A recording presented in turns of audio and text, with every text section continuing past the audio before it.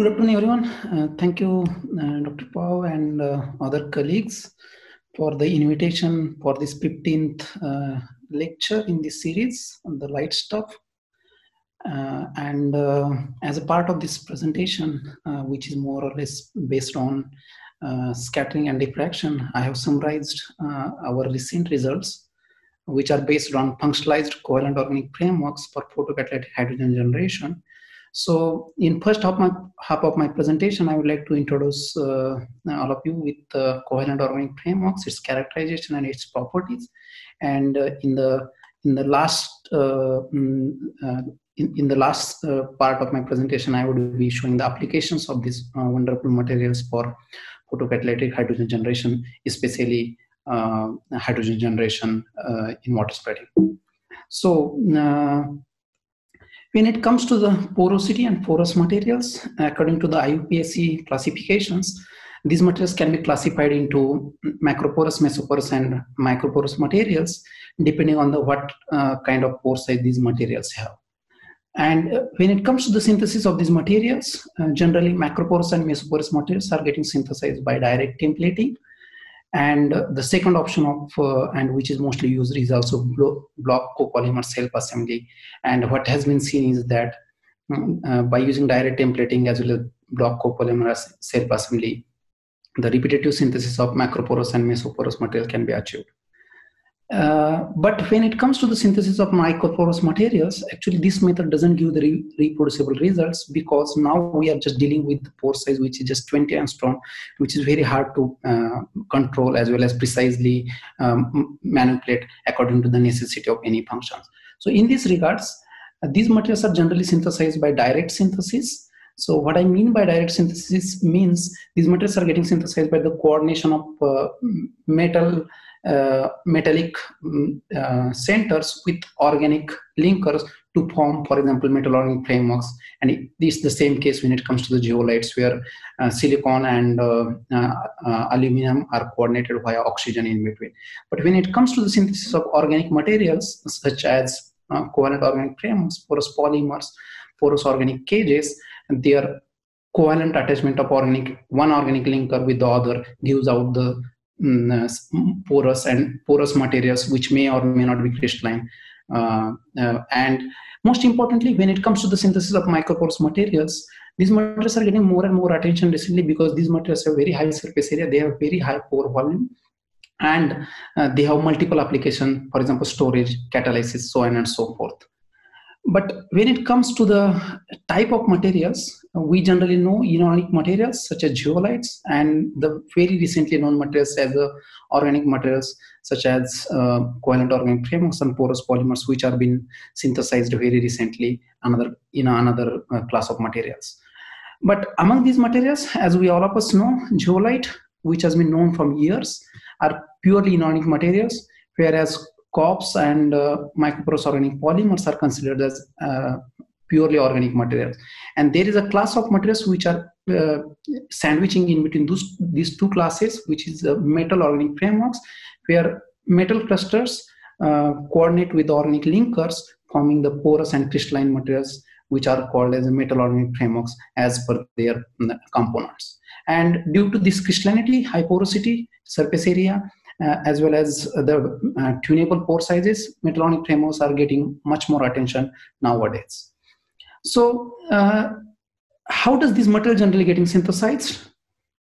So, in general, metal organic frameworks start uh, uh, starts getting synthesized by coordination of metal clusters with organic linkers, which in first point gives the elementary unit, which we generally call as a secondary building unit (SBUs), which goes on extending into three dimensional, forming the porous and crystalline metal organic frameworks into three dimension. And these, uh, these properties of these materials can be tuned by changing the metals or organic linkers as per necessity of the application. But uh, how does this happen in a solution? So in a solution, organic linkers start coordinating with the metal clusters uh, and uh, with increasing time they start uh, extending to three dimensional leaving out some pores which can be used to do multiple uh, applications as well as different chemistry in their backbone before they crystallized out as a single crystalline very beautiful crystals which can be analyzed using single crystal XRDs. And most importantly, in this case, what happens um, since this material leave out the porosity in this uh, during the synthesis, these uh, many kind of application can be used uh, can be done using metal organic frameworks.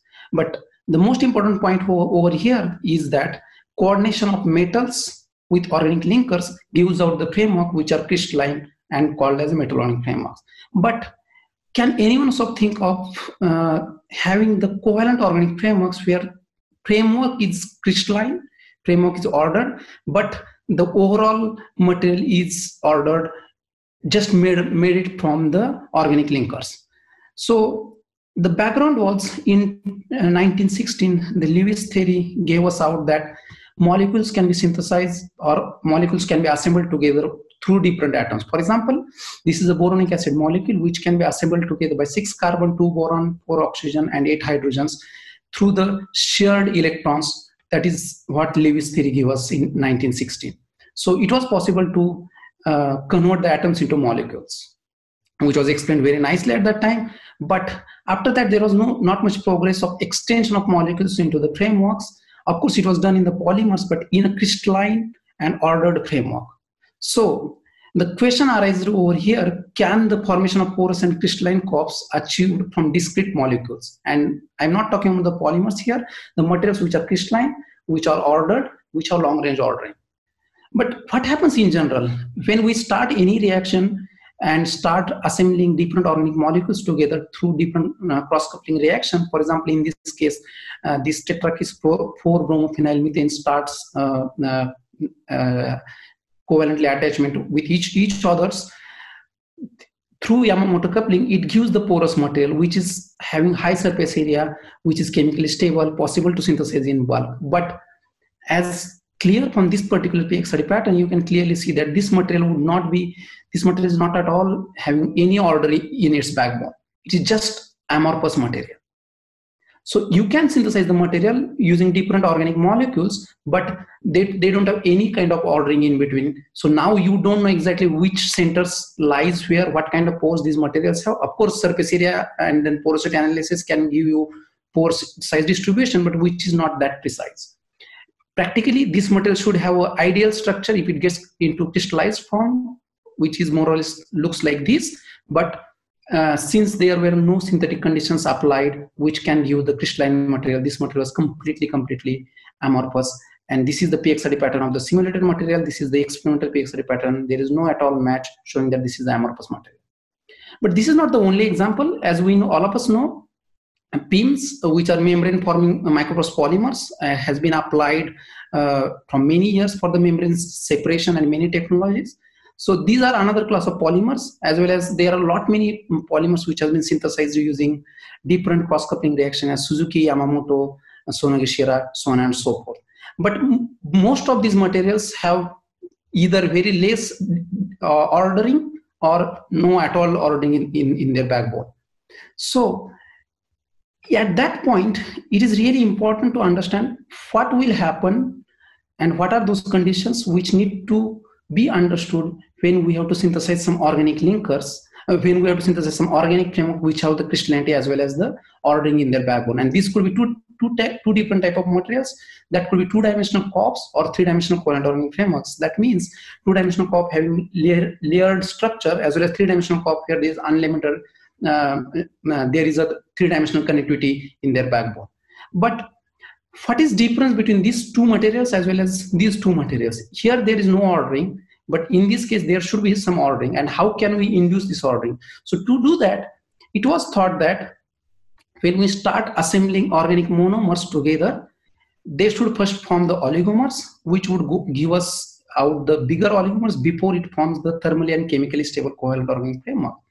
But how can you achieve that? So simple in a uh, in a synthetic scheme like this. But the first thought came in the mind: Can we use some reversible reaction?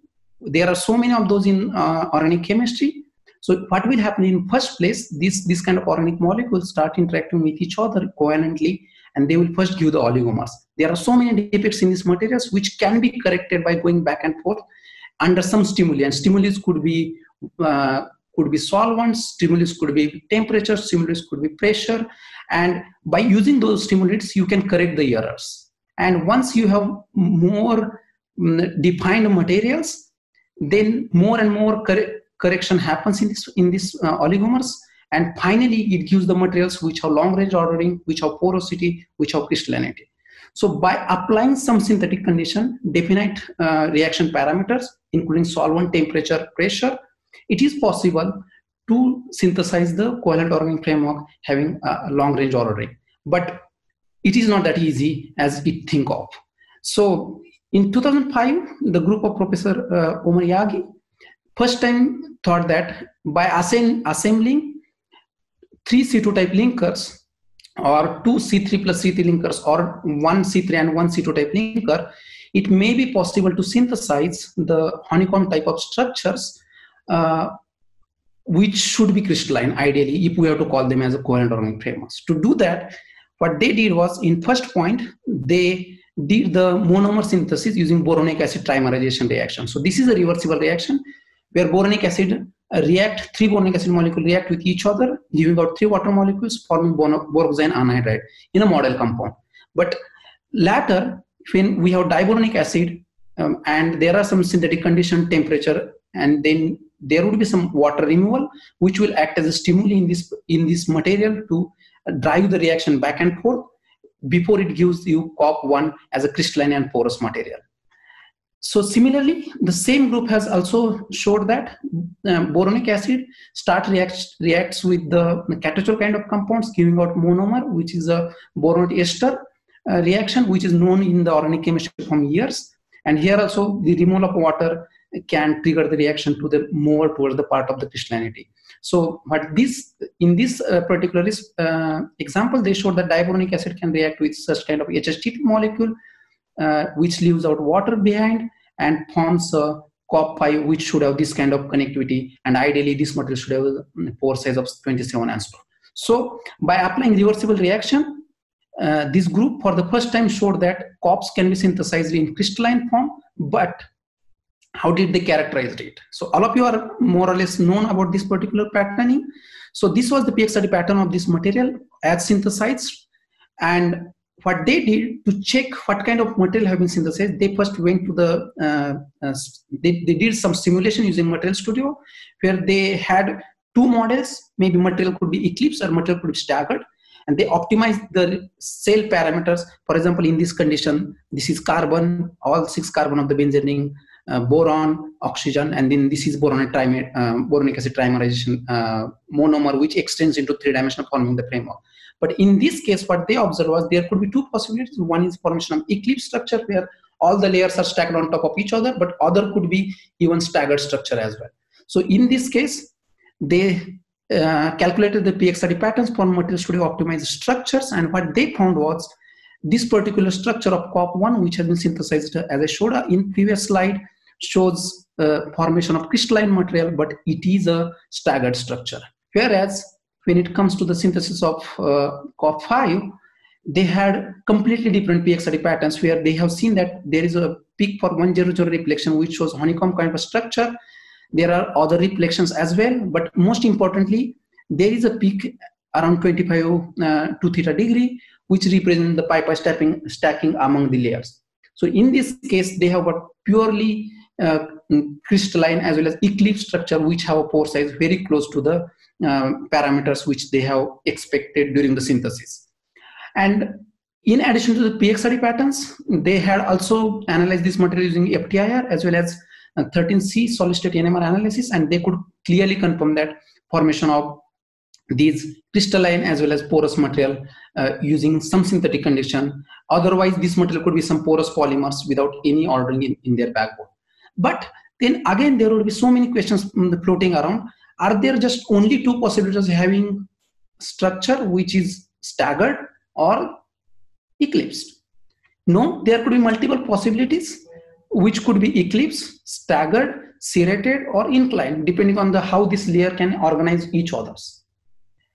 And can we analyze and can we correctly refine the cof materials to these particular different patterns so at first it was sensed to be really difficult, but later in, in, in few days, few years later, the group of Thomas Heine has uh, correctly showed that uh, PXRD patterns of COFs, uh, which are uh, experimental, experimentally observed, analyzed using PXRD analysis, can be compared with different models. And here they could clearly assign that these materials, which are synthesized by using boronic acid trimerization, trimerization boron ester reaction formation, have uh, eclipsed structures which are not completely eclipsed. So in these cases, structures are either serrated or inclined, where each one of these layer is uh, is shifted by 1.4 angstrom.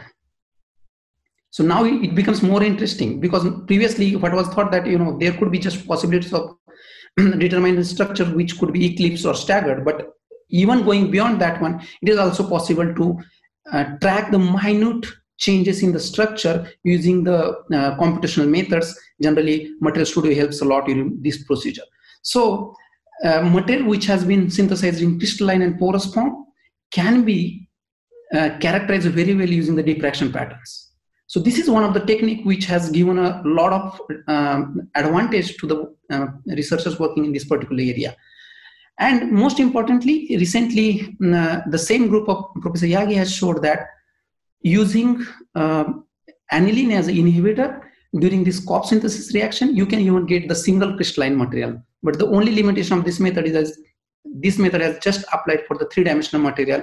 In particular, uh, this particular covalent organic framework using this tetramine C4 type of tetramine linker uh, and this BDA they could get the single crystalline COF which has some crystal, some small crystals like this and it was analyzed using single crystal XRD. So and in this particular case it was much important that they could even get the how water molecule can have the interaction with amine, nitrogen and so on and so, so forth with much more details uh, in this case. But this is just restricted to three-dimensional structures but in two-dimensional structures also minor details can be tracked and traced using uh, computational models and comparing the two patterns which are firstly got by PXRD as well as another one extracted from the simulated structures.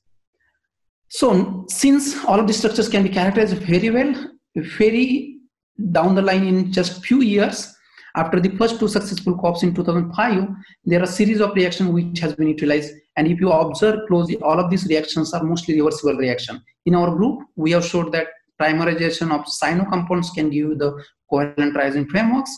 Imine-based reaction, which generally we call as a Schiff-based reaction, can be utilized.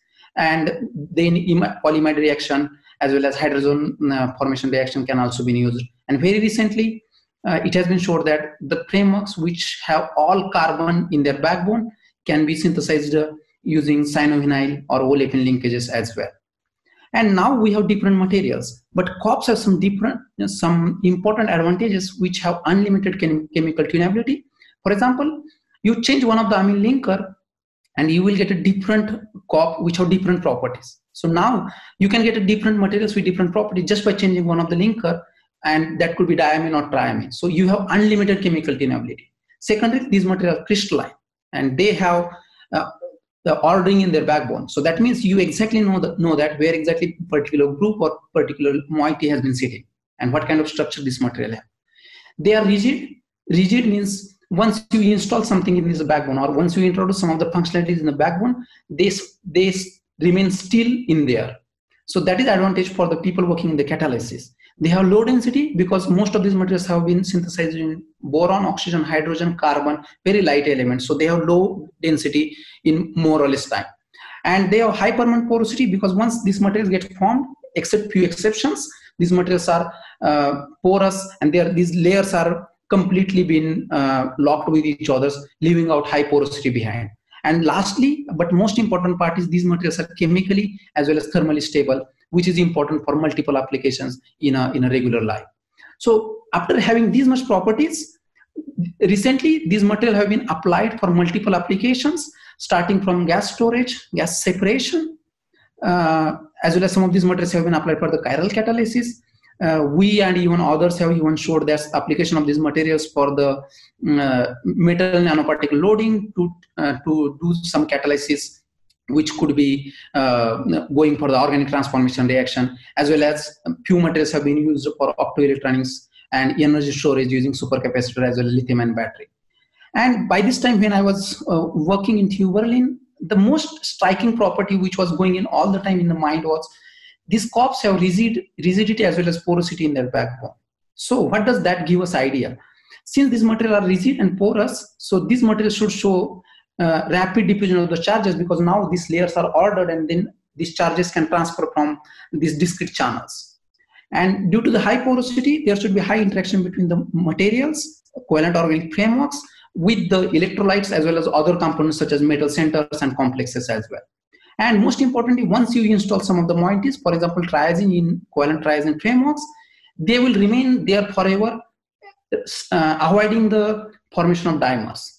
So these properties are more or less really important for the photocatalysis. And particularly when I'm talking about the photocatalysis, I will be talking about the photocatalytic water splitting, where uh, solar energy is converted into the uh, solar energy used to split the water in presence of co-catalyst and sacrificial electron donors sometimes to give out the pure hydrogen which can be used in the in the mm, fuel cell for uh, fuel cell and multiple vehicular applications as well so importantly I will not be talking about uh, inorganic photocatalysis because it's something else. But when it comes to organic photocatalysis, this field was started after the first discovery of carbon nitride, which are semi-crystalline materials.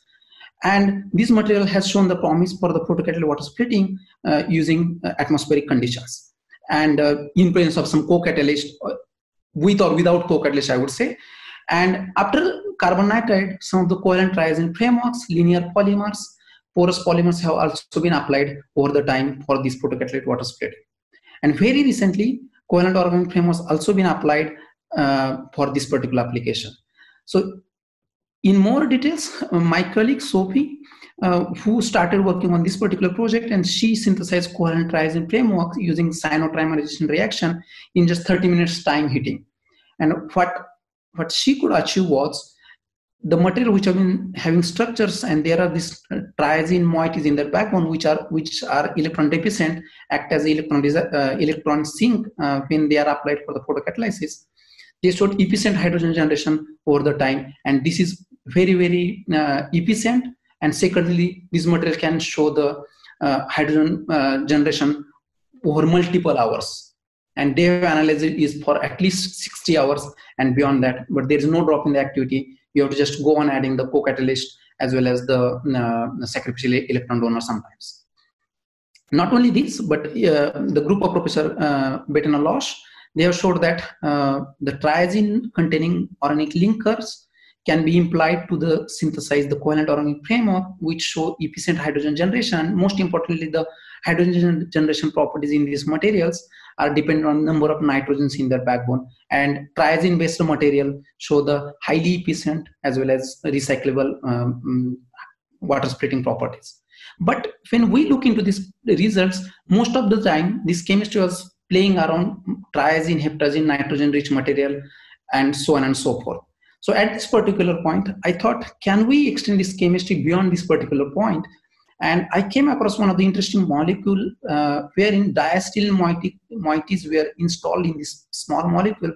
And particularly when they were checked for charge and hole transfer property, this material showed the uh, efficient uh, uh, hole transfer properties. And when these diacetyl moieties were installed in polymers, which are generally linear polymers, they showed the dye degradation with high efficiency close to 80%. And I was surprised that just a small moiety can change this much into these materials. So at that point, we decided, can we install these moieties? Can we incorporate these moieties in the covalent organic frameworks? And how can we do that? So to do that, we synthesized two amines, one having acetylene moieties and other one was having the diacetyl moieties. And we started reacting these uh, organic linkers with 135 triformyl phloroglucinol, which is aldehyde, and we followed a Schiff-based reaction uh, which undergoes a ket keto-enol tautomerization in 1,4-dioxane mesitylene as a solvent, acetic acid as a catalyst, 120 degrees Celsius as Celsius for four days, and finally you will get such kind of material uh, which is in purely crystalline form as well as porosity. And in this case, we synthesize a diacetylene containing COF, which is uh, here honored called as TPBDDA, as well as we had also synthesized the TPEDDA COF, which is having acetylene moieties. But first job what we did was we optimized the structures and what we found that uh, COF having uh, diacetyl moieties should have the pore size of 3.4 nanometer and COF having the acetyl moieties should have the pore size of um, 3 nanometer uh, and this material should be crystalline if we, we could have optimized the conditions correctly. So first characterization, what we did was the PXRD analysis and what we observed that these materials have good crystallinity and to analyze the uh, whether structure is eclipsed or staggered, we optimized the structures in Material Studio, extracted the PXRD patterns, and this we compared the simulated PXRD patterns with the experimental PXRD patterns. And as we see that there is very uh, minute difference in these both PXRD patterns, which confirms the formation of this material into hexagonal P6 space group with these cell parameters. And similarly, it was also been observed for the TPBDDA of having diacetyl moieties. So we were really happy at that particular moment because now we have a COF which have acetyl moieties and we have another COF with diacetyl moieties in the backbone. However, the porosity, which is another prime uh, properties of the covalent organic frameworks.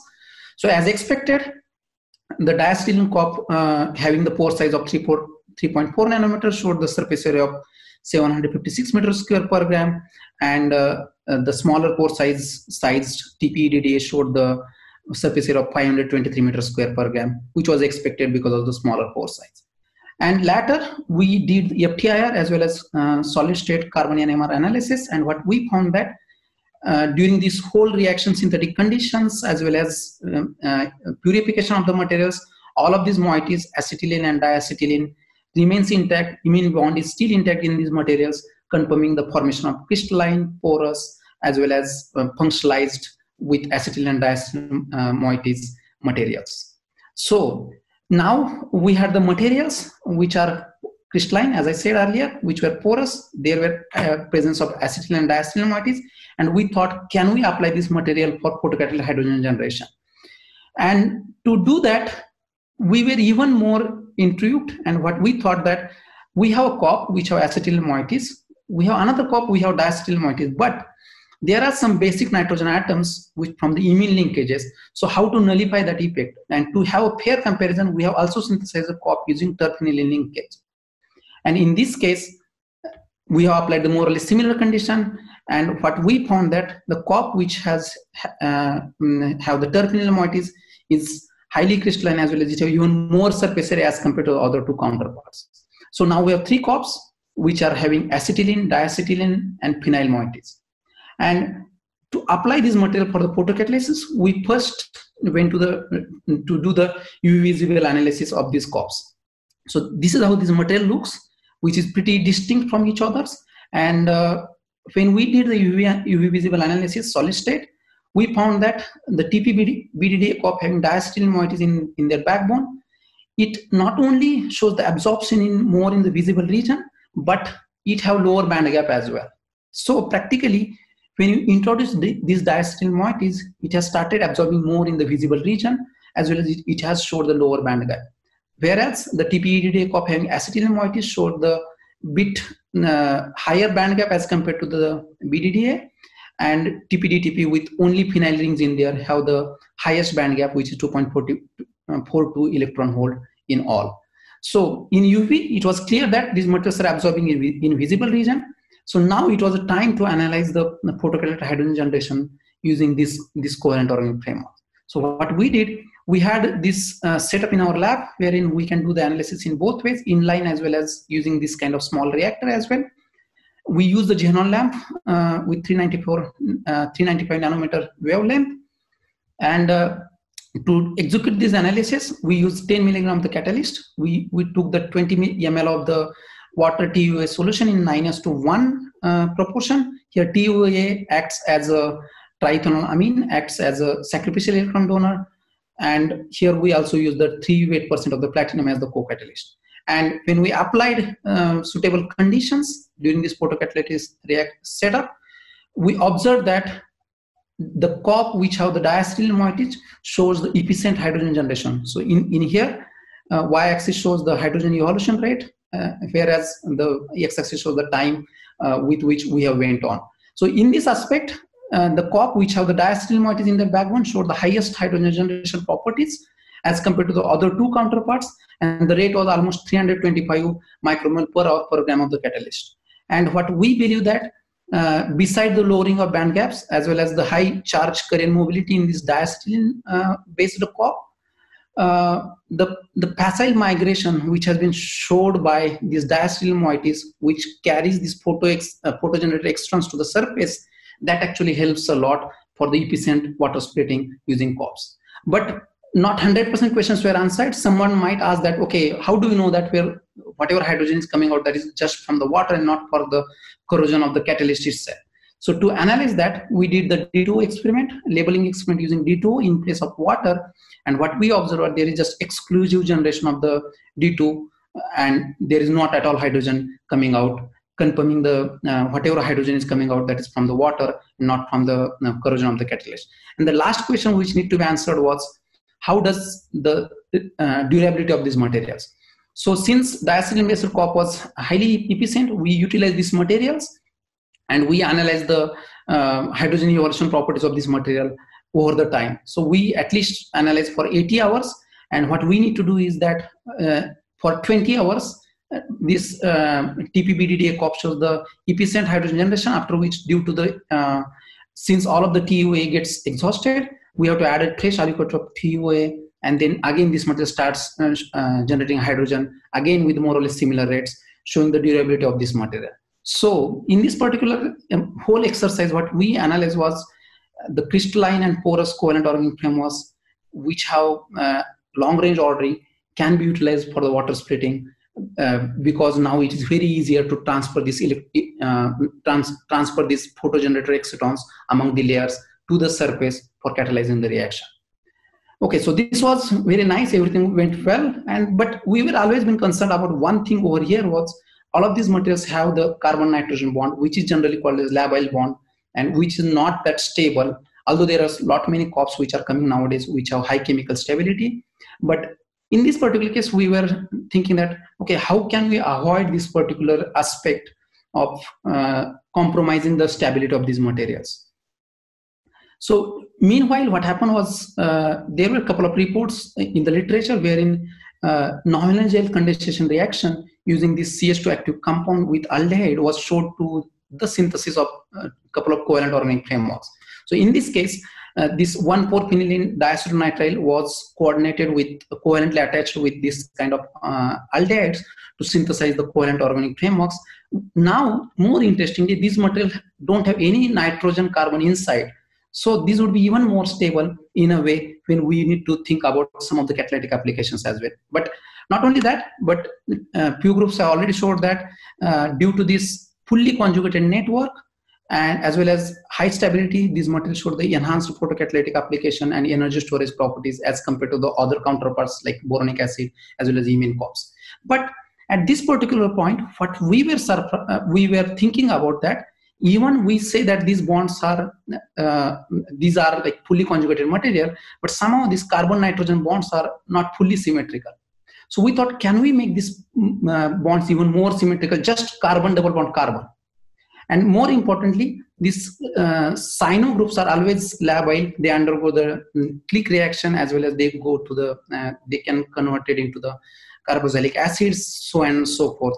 So to avoid that we thought that can we try to remove these uh, cyano groups from these materials not after the synthesis but can we have the material which don't have any un- uh, any uh, unsymmetrical uh, carbon carbon bonds but just symmetrical bonds. But while browsing through the literature what we came across was this was already been observed in some of the materials which are very interesting class of material which are called as mm, polyphenylene vinylene ppv and this material because of this full conjugation, they have shown some of the diamagnetic properties as well as they have interesting intrinsic electrical conductivity as well. And due to these properties, because of high conductivity as well as their properties uh, more towards the diamagnetic, these materials are even applied for the LEDs as well as in the solar cells as well. So this was interesting. Now, if you have a material which would have just plain symmetrical CC bond, it could be useful for many applications which have not been thought of uh, at this point as well but we went one, one step higher and what we thought can we have a material which have this kind of bonding as well as some of the triazine moieties, which would be even interesting for multiple applications. And when it comes to the triazine based, we are already, as I discussed earlier, we uh, already uh, have expertise in covalent triazine frameworks, as well as uh, in our lab, we are generally very known with the triazine based graphitic carbon nitride, as well as some of the poly, uh, polytriazine networks as well, which have been applied for multiple photocatalytic application. The basic of all of these materials is the triazine moieties. So we thought to include this triazine moieties into this fully conjugated, conjugated carbon-carbon bonds. But how can we do that?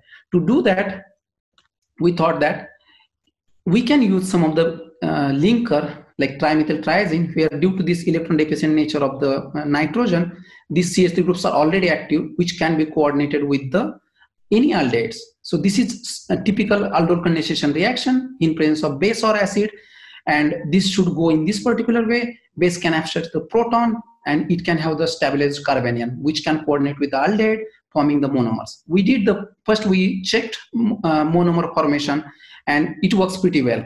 So now we were sir, we were now even more interested like how how would this happen in a framework.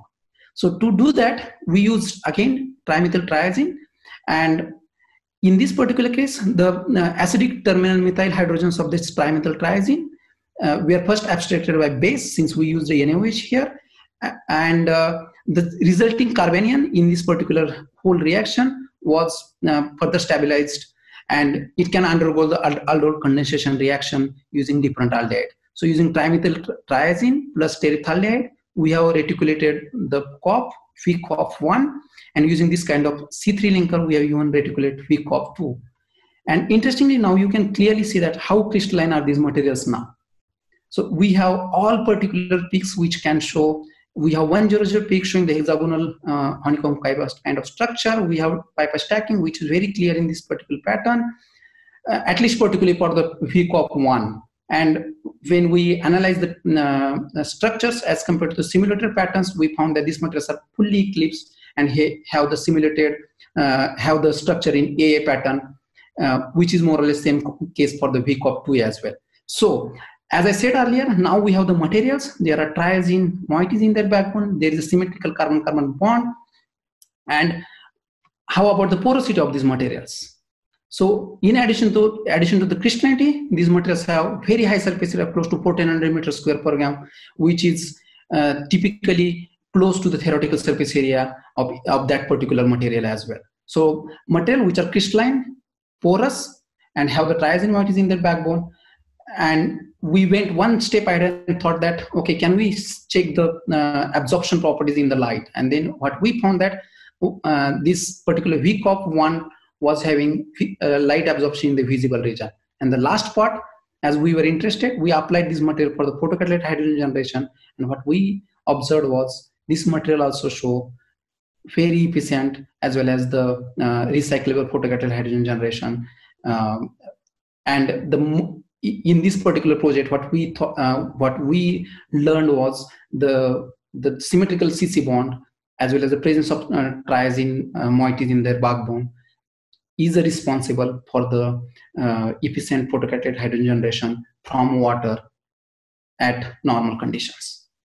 Except these as, as well, we are also interested into other type of uh, catalysis. So in addition to the photocatalytic water splitting, these materials have even been applied for the heterogeneous catalysis as well as OER, as well as uh, recently we have even showed the uh, radical polymerization using covalent organic frameworks, which are more or less related to photocatalysis as well as catalytic application. So finally, I would like to summarize. Uh, I hope I have convinced all of you that by applying reversible conditions, crystalline and porous COFs can be prepared.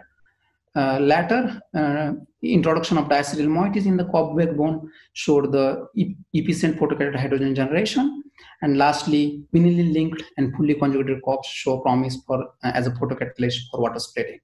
With this, I would like to uh, uh, acknowledge my supervisor, Professor Arne Thomas, who has supported for all of this project, my group members, uh, Professor Reinhard Schomäcker and Professor Michael for the support in the photocatalytic hydrogen generation, Amit for uh, helping in the, all the photocatalytic properties. I would like to thank Alexander Von Humboldt Foundation for uh, financial support, UniSysCat for my current um, fellowship, and TU Berlin for all, we, all the infrastructure and support. And thank you all for your kind attention. And I will be happy to take any questions.